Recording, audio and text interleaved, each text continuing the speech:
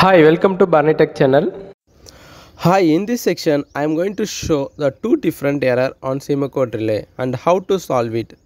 First we will see the configuration error and then we will see the another error load will not be executed.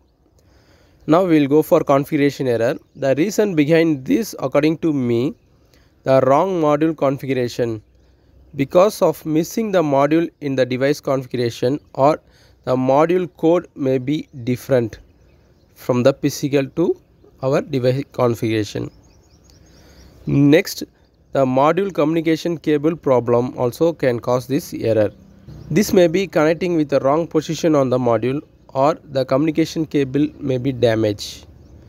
Now I will show the wrong module configuration. As per hardware, it has CT, base unit, EM module and DM module with display. But as per the configuration on the device configuration it is missing one of the module. Then we will get the configuration error. By missing this module and when we upload to the relay the relay will show this configuration error. On the other hand if you mismatch with the port number or the module code it will also cause the same error now i will show some error caused by this problem here I got the configuration error on the relay. This we can able to see by making the relay in online with TIA portal. Then go to communication and click on error buffer and you can able to see the all uh, error data and events will be uh, recorded over here. Due to this I went for checking the module code that or we can say the port number but actual port number and the device configuration port number is mismatching.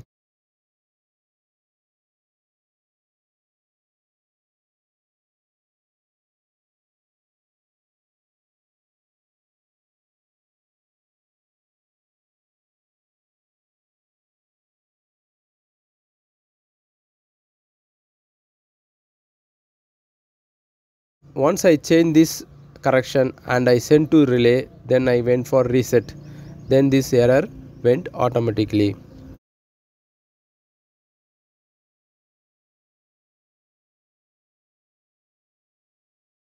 Next we will see the communication problem. If the communication cable between the module get damaged then also we will get this kind of error will occur.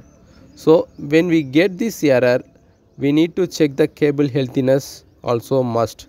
And also we have to check the cable connection in and out. In my previous video I have shown this uh, type of uh, cable connection. So if you want I will post my previous video link in the description. Next we will see another problem. When you upload the program we will get the loading will not executed. But cross verify the port number it will be same. And when you check the cable it will have the correct uh, in and out method. And also cable healthiness also will be good. Even though everything is in correct position but still we are not able to upload the program into the relay. But for this actual reason i am not able to understand and i am not able to find the actual reason. But i am able to find the trial and run method the i got some solution. Just we will go for seeing how we, to solve this problem. Just open the device configuration. Over here click on base unit and go for changing the base unit. And note down the current version of the base unit. Then you will make the one version down or up on the same base unit code number. Then you go for compiling. Then come again. And then you change again one more time and change the version in back into the original which we have noted before after changing this go for compiling this program and then upload this configuration into the relay now it will upload and your configuration file will be sent to relay i hope this section may be useful to you all We came to the end of this section. See you on next video. If you like this section then please share to your friends and colleagues. Take care and bye from Barani Tech channel. Thank you for watching this video.